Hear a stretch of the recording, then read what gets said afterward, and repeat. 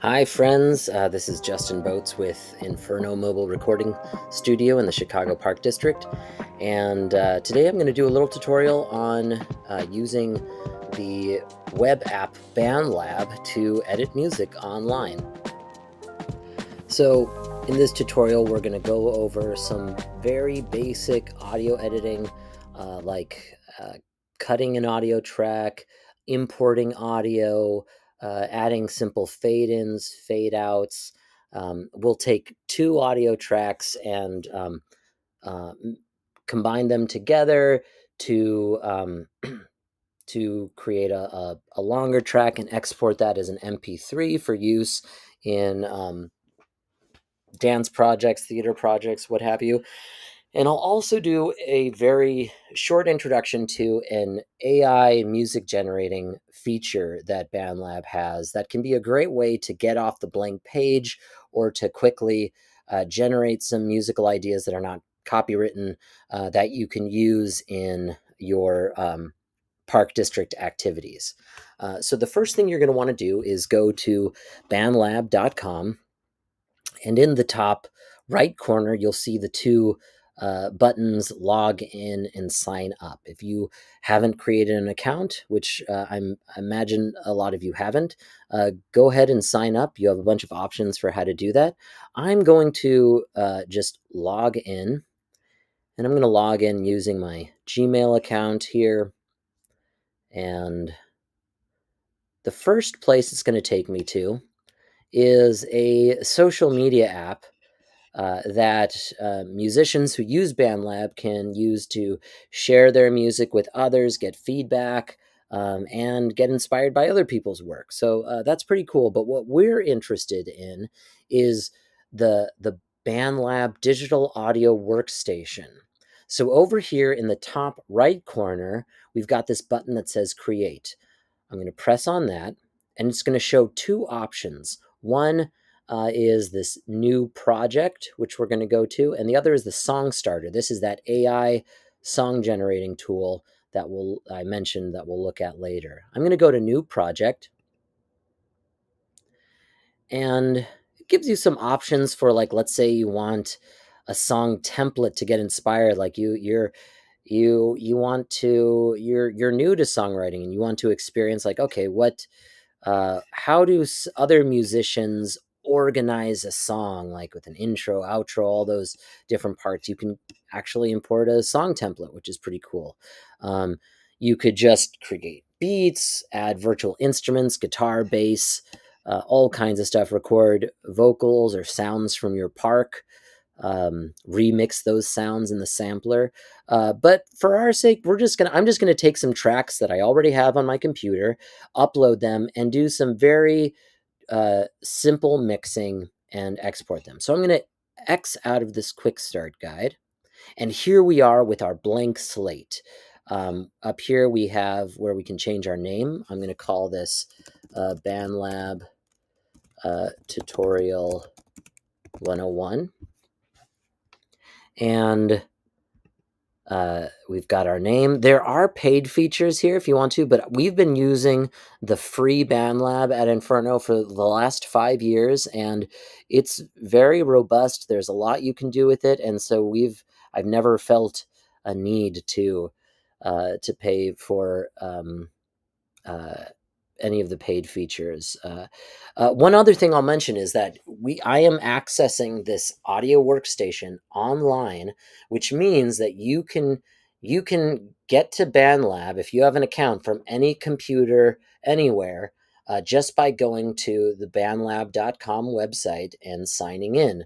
Uh, you could you know work on your music um, at library computers or school or friend's computer uh, and instantly have access to the songs you've been working on because they're saved in the cloud, uh, which is pretty awesome. You can also download um, a uh, BandLab app for a Android or iPhone smartphone um, and have access to BandLab that way on on your phone. Um, Today, this tutorial is just in the web browser, which is great and versatile and um, uh, makes the, the, the video tutorial a little easier. So uh, what we have here is that we you know we can add we can add all different kinds of tracks like we saw earlier. I could add a bass track, a drum track, uh, um, a guitar track, some other virtual instruments or sounds or samples. Um, uh, I can add um, a, a, vocal track to record voice or audio, uh, but I I'm not going to do that. I just want to upload two tracks and and do a simple you know some simple cutting of it and fade in and out uh, uh, between them. So I'm going to click on this drop a loop or an audio file. And this is going to take me to uh, uh, my hard drive where I can choose um, a song to import. Okay, here's one. And you'll notice you can see this visualization of the sound. It kind of comes in strong. There isn't much of an intro here. It just starts making sound. Sounds like it just came in, uh, like it, it starts in the middle of a song. So to change that a little, I'm going to click on this right, uh, this white square and drag this line over a bit. And you'll see that that creates kind of this diagonal line or triangle from the beginning of the track to wherever I've placed this um, white square. And what that's communicating is we've just added a very simple fade in. So it's going to, uh, that tells the computer to start this track at zero volume and slowly raise the volume uh, till we get to this um, the square here. Let's see how that sounds.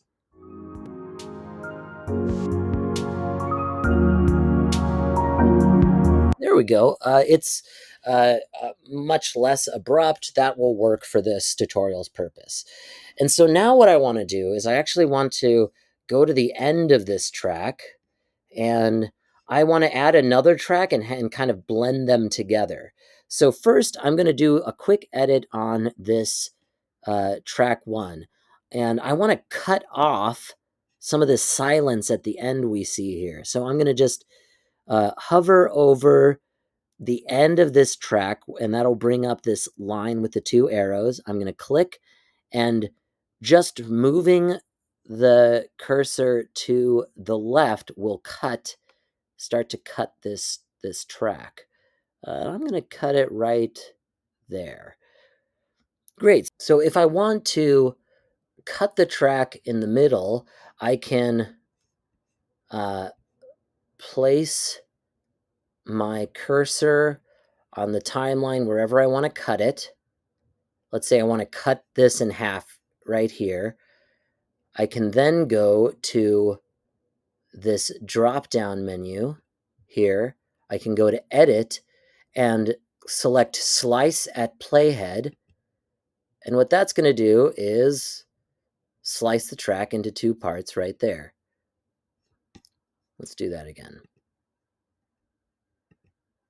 There we go. So now we've got our two separate tracks. Uh, I actually don't need to do anything with that, but that's just to, to demonstrate. Okay, now what I'm going to do is I'm going to upload my second track um, to um, to mix with that first track. So I'm going to click here again. It's going to go to my hard drive. Uh, let's do um,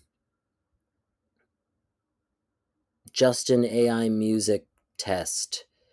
Um, let's see what that sounds like. Okay, there we go. I've got my track. Um, and I'm going to drag this over so it begins right towards the end of that last one. Um, and just like I did earlier, First, I'm going to go to the first track and I'm going to fade out. So fading out is, is the same process as fading in. I click on the white uh, rect uh, square and, uh, and that will create this uh, ramp, uh, letting the computer know to kind of slowly turn the volume off. Now I'm going to the new track and I'm going to fade in dragging the uh, square over to the right here. And I've, I've now created a little fade in, fade out, uh, and we can see what this sounds like. Uh, let me click on the timeline over here and press play and see what the fade in, fade out sounds like.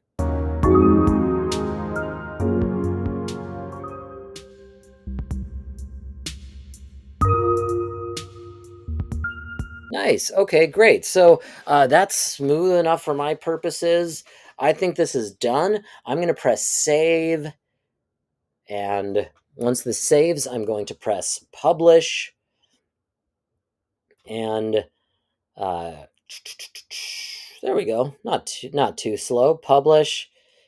And I'm not going to add any metadata like a description for the song or genre. I want to keep the song unlisted because this is kind of an in-house, uh, well, it's a demo. Um, and I don't need to share this with anyone on social media right now. We're just going to use it for park uh, purposes.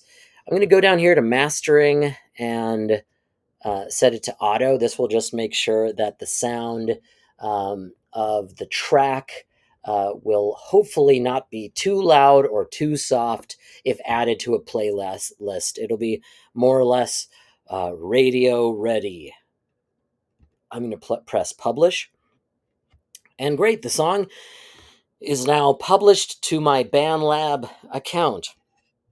Now, where do I go if I want to download the song? I'm going to click on this uh, drop down menu in the top left corner and exit the digital audio workstation. And here I am, where I have this track that I can share immediately with people. Like, let's say there's a team of people I want to share it with, or campers uh, that might be interested in it. I can share this uh, online. I can also download the track, and that's what I'm going to do right now. I'm going to download this as an MP3. MP3 is great for uh, small file sizes that sound good uh, as audio files. So uh, or sound pretty good. Uh, this is just going to be 4.59 megabytes, not bad at all. Great. And uh, that will now download to my computer so I can share it with the team. But let's say I, um, there's one other thing, I, feature I want to share with you on here. Um, uh, when working on editing, let's say you want to collaborate with a, a teammate at the parks uh, and you you want to work on the song together but you're not in the same location or at the same computer. Let's go back to the studio by pressing on that studio button. And under the publish button is this invite.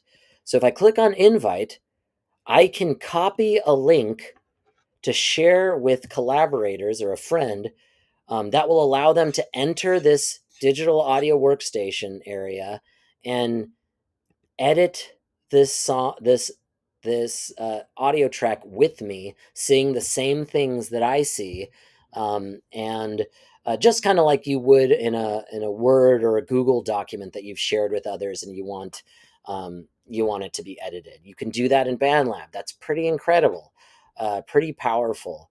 That's most of what i wanted to share in this tutorial. One last thing I will share is uh, if you just want to, um, let's say you want to generate some sound or song that's that uh, not a song you have in a in a playlist or somewhere on your computer. Uh, you want to you want to generate something that's that uh, is will not infringe on copyright and uh, and be able to use it in um, Park District programming, uh, you can actually use the song starter tool, which will help you generate uh, a song with AI. It's not, you know, they're not particularly great songs, but uh, it's it's a way to get off the blank page um, and or have something uh, uh, to to mess around with if you need uh, just some quick music for something. Uh, and so I clicked on Song Starter, and it brought me to this page where I can choose, like, okay, what kind of um, what kind of sound am I looking for? Is there any particular genre? I'm going to go with ambient um, uh, because I want some, let's say, a background sound for some theater piece or something or dance project. Get started. In a few seconds, it is going to generate some song ideas. Okay, so uh, it's it's generated three different song parts that I can listen to.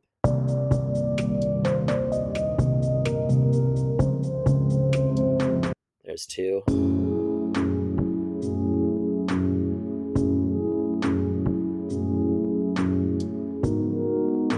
Three.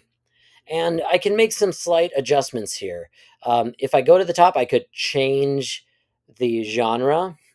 I can change, do I want this to have kind of more of a bright sound, a chill sound, or a moody sound? Um, I can also adjust like what key I want this song to be in. Let's say I want this to be in C major or something, or C, yeah, there we go, C minor, C major. Um, oh, because I have it set on moody, it's not letting me choose C major. So I'm going to go to bright, and I want this to to be in a bright key, like C major. Oh, one minute. Maybe I have to press regenerate. There we go. Regenerate.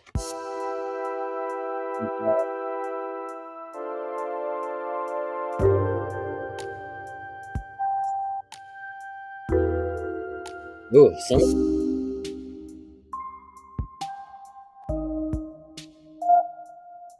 You know, it's it's AI, so um, uh, you know some of these came out uh, sounding really bad. So uh, if you have any fear of AI immediately taking over our our jobs, um, fear not. It's got a long ways to go uh, for at least music composition. But uh, this is this is a decent start. I'm going to take this um, track one and I'm going to go edit in Studio, and just like that, uh, BandLab has generated four tracks of musical content for me to play with, tweak, use as is.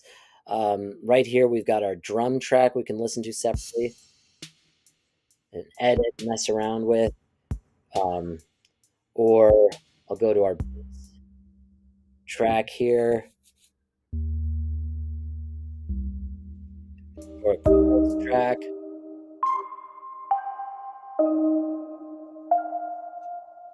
It looks a little wrong. We've got this melody track.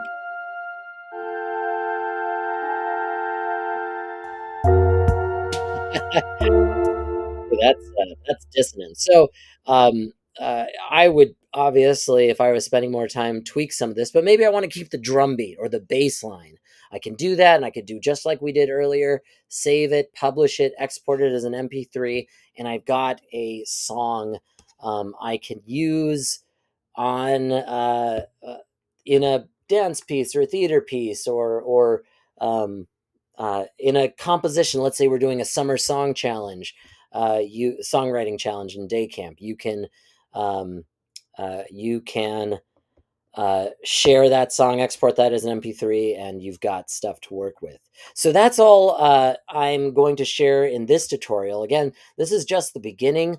Uh, we've gone through some basic edits you can do in BandLab, uh, fading in, fading out, cutting, uh, importing audio, exporting audio, as well as uh, just just kind of uh, demonstrating the tip of the iceberg as far as BandLab's ability to uh, generate virtual instruments and songs with uh, AI.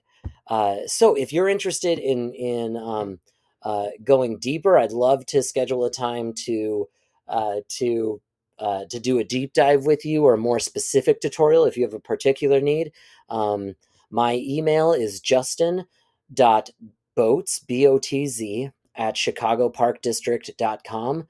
And I would be happy to help troubleshoot uh, any questions you might have around um, audio editing in BandLab, or if BandLab isn't the tool for you, um, there are a number of others out there as well we could uh, explore together.